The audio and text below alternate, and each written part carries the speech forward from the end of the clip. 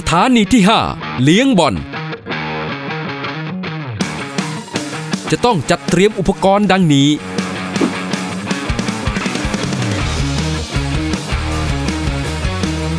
โดยจะต้องทำการแข่งขันตามกติกาดังนี้ นักกีฬาจะต้องวิ่งซอยเท้าทั้งสองข้าง ผ่านบันไดลิงทุกช่อง ระยะ 2 เมตร เพื่อเข้าไปที่จุดตั้งบอลและเริ่มเลี้ยงบอลแบบสลาลม ผ่านกลวยยางที่ตั้งวางห่างช่วงละ 1 เมตรจำนวน 18 กลวยยางอย่างต่อเนื่อง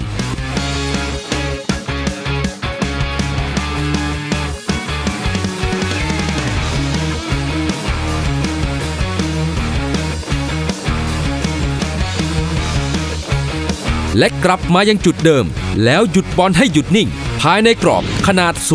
0.35 คูณ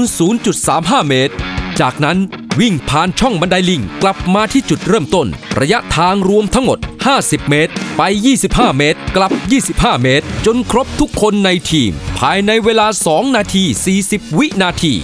โดยจะเริ่มจับเวลาตั้งแต่นักกีฬาคนแรกออกตัว และจะสิ้นสุดการจับเวลาเมื่อนักกีฬาคนสุดท้ายกลับมาที่จุดเริ่มต้นอีกครั้ง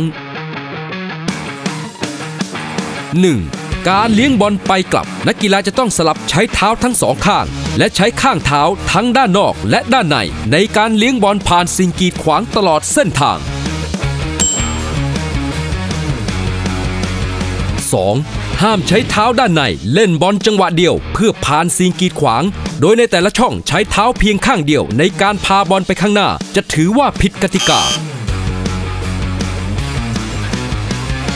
3. ในการซอยเท้าผ่านบันไดลิงทั้งขาไปและขากลับ หากนักกีฬาซอยเท้าผิดเงื่อนไขจากที่ระบุในข้างต้น ต้องกลับไปเริ่มทำใหม่ที่จุดเริ่มต้นของบันไดลิง แต่เวลาจะไม่หยุดเดิน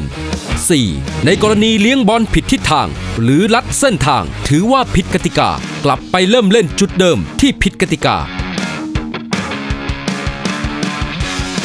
5. กรณีชนกลวยยางล้ม ใช้มือสัมผัสกลวยยาง หรือใช้เท้าเตะกลวยยางให้ขยับเปลี่ยนทิศทาง รวมทั้งการพาบอลถือว่าผิดกติกา ให้กลับไปเริ่มเล่นจุดเริ่มต้น ฝั่งขาไปหรือขากลับ